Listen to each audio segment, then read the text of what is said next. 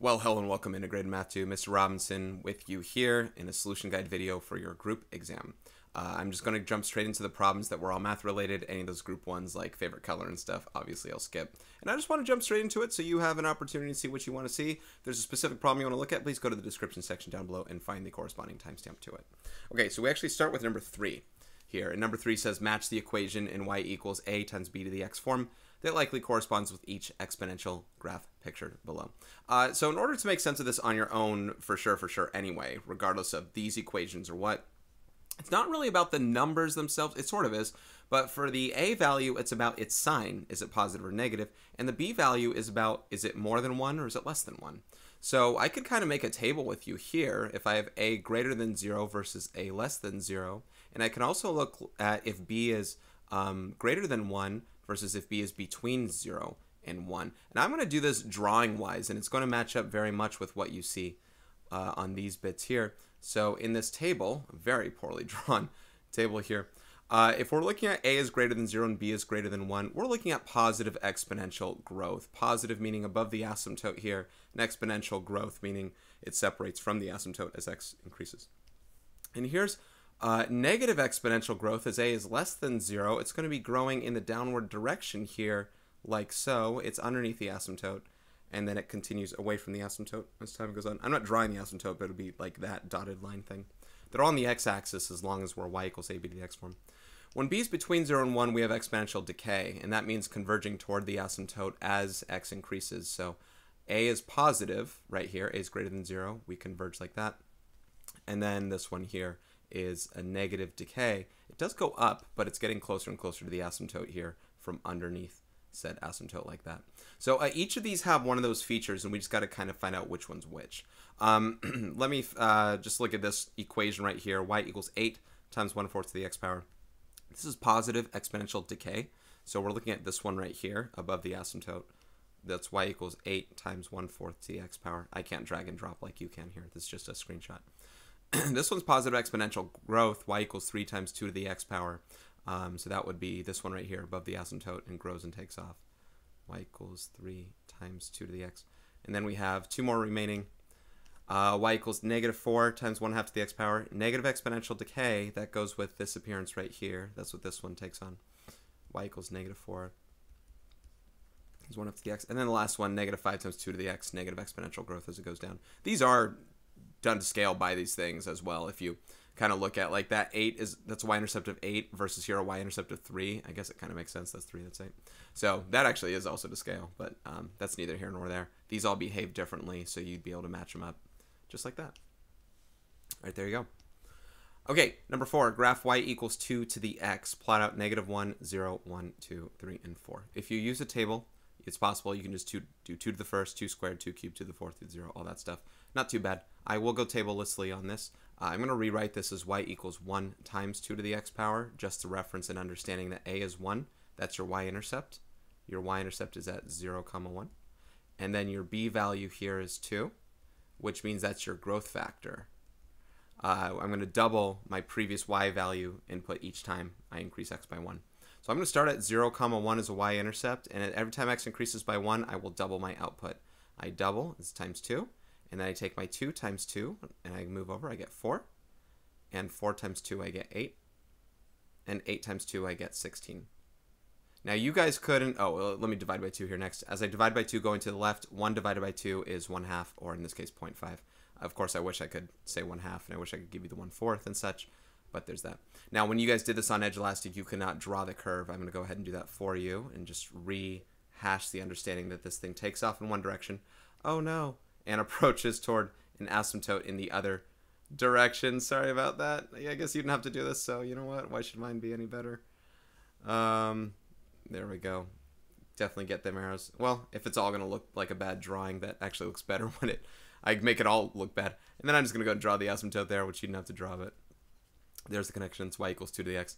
Most common, that's the parent function. That's the most basic form right there. And there it is. There are your points. All right, number six. A uh, this is a modeling uh, exponential problem modeling equation. A cup of coffee contains 130, 130 milligrams of caffeine, and caffeine is eliminated from the body at a rate of 11% per hour. Now, the word eliminated is a way of saying decreasing. You're removing it So when we use our y equals a times 1 plus or minus r to the t, we're going to use 1 minus r to the t power because we are taking away. This r value is based on the 11%. You shift the decimal two places, you get 0.11. And the a value is 130, as that is the initial amount after we drink the entire cup of coffee or whoever does. So the equation is going to say y equals 130 times 1 minus 0.11 to the t, excuse me, power. In simplifying that, 1 minus 0.11 is 0.89. I sure hope you guys were including that. Um, I don't think I'm going to take away from not doing that, but it's it's it's proper to do it, right? My my a is if, if this was y equals ab to the x, my a is 130, my b is 0.89. That's the decay factor. It's decaying, and my x is a t right there.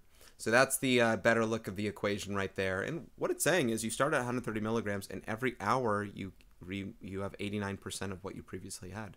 If you lose 11%, you still have 89% of the previous hour's amount. All right, uh, what is the range of this model? So the domain is t is greater than or equal to zero, and the way of making sense of that is you, let's say you could consume the coffee cup in like a second. You drink the coffee cup, or the not the cup, but you drink the coffee inside the cup fully, and caffeine's in your system, 130 milligrams. Start the clock, time zero.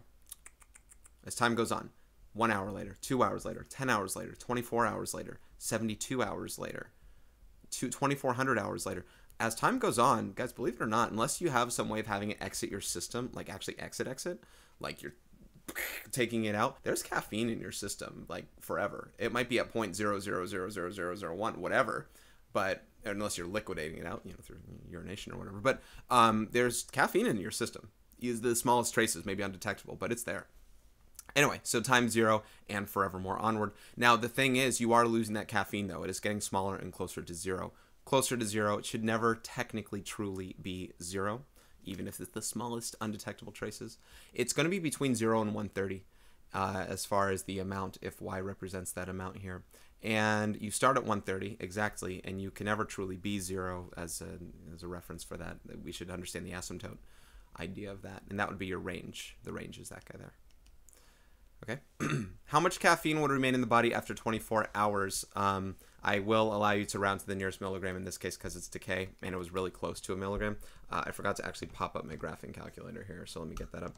But what I'm going to do is substitute 24 in for t and then kind of punch it all in at once. So I'm going to be, I'll write what I'm going to put in. Let's find out 130 times 0.89 to the 24th power here. Okay, graphing calculator. Here we go.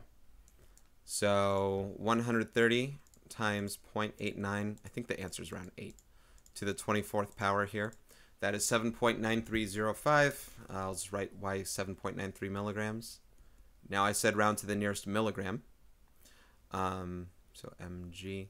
So if I ask you to round this time, although generally I won't. If I give you a growth problem on the actual test, I probably won't say round. I'll say give me to the nearest person not to the nearest person, but you know, truncate it, or to a, a that cent. Uh, eight milligrams about. I should probably put the approximate symbol here. About eight milligrams. Eight milligrams there of caffeine after 24 hours. So you got rid of most of the caffeine there. And after another 24 hours, it's well, you can figure it out. You can plug it in. Let me figure it out. Uh, after 48 hours total, they're 0.48, about half a milligram after that. But here's the thing: it's still in there right? So even if you don't feel the effects and stuff, it's not potent, it's still in there. All right, now we get some of the algebra stuff here. Solve 6x squared equals 27 algebraically. Simplify all radicals. Now, a lot of people were doing things with decimals in this. Guys, you've seen this forever with me. I'm not, except for the last problem with word problems and context and stuff, I leave things as fractions and improper fractions at that. The one simplification rule that I ask, though, is that we rationalize the denominator. So to solve for x here, we are going to divide both sides by 6. Divide both sides by 6, we get 27 over 6, which, by the way, can reduce. I divide 27 by 3, I get 9. I divide 6 by 3, I get 2. x squared is 9 over 2. If I take the square root of both sides here, you'll get something that says x equals plus or minus. And this is where simplification has to occur because, hang on, my calculator's in the way here. Because I can't have an irrational denominator in any sense of the word. I'm not changing this to 4.5. I'm going to change it to the square root of 9 over the square root of 2. And I can start playing with that. The square root of 9 is 3. So I get plus or minus 3 over the square root of 2. I can't take the square root of 2. I can't simplify it in and of itself, but I can simplify the fraction. I don't want an irrational denominator. So I'm going to multiply top and bottom by exactly that root 2 because the square root of 2 times the square root of 2 is 2. And multiplying by root 2 over root 2 doesn't change the inherent value of the thing. Root 2 over root 2 is 1. So root 2 times root 2 is 2, and that, I got a 3 root 2 there, so it's plus or minus 3 root 2 all divided by 2. That is fully simplified. I think when most people were doing this, they actually got this, so that's cool. But uh, yeah, no square root of 4.5, stuff like that. Even though I said no decimal approximations, when you're putting a decimal inside a square root, that's also no joy to anybody. And anyway, the square root shouldn't have a fraction inside of it. The square root, there's going to be a fraction of the square root. The square root should have an integer. We're going to take the square root of an integer value, guys, when we do these. All right, there's number seven. Number eight, solve this algebraically. x squared plus 6x plus 14 equals negative 2. Now this was not only not factorable, but I believe it had no real solution. I will solve it with both completing the square, if you chose to do that, and quadratic formula, if you chose to do that. If I solve by completing the square, I'm going to subtract that 14 over to the other side. So x squared plus 6x. And subtract 14 with negative 2, I get negative 16. In order to complete the square, I need to find the number that makes a perfect square trinomial on the left side by taking the 6, dividing it by 2, which is 3, and squaring that value. 3 squared is 9. So add a 9 to one side, add a 9 to the other side. That has completed the square on this side. It made it so I can factor this down to a perfect square trinomial, x plus 3 quantity squared. Remember, it's this number that goes inside here, or 3 times 3 is 9, and 3 plus 3 is 6. That's what we factor to. Negative 16 plus 9 is negative 7, and now that I have this factor down to the square, I can now take the square root of both sides. That is the good thing about completing the square there. so here I have x plus 3 as it cancels out the square. Here I have plus or minus, and the square root of a negative here, I'm going to kind of, you know, I'm going to speak quickly on this. Pull out the negative, have an i, pull it out. No more negative, i root 7. It's i root 7 now. This is an imaginary number, and when I subtract the 3 over, it'll be a complex set of solutions. Negative 3 plus i root 7, and negative 3 i minus, uh, minus i root 7. Negative 3 plus or minus i root 7 are your two solutions to this quadratic equation.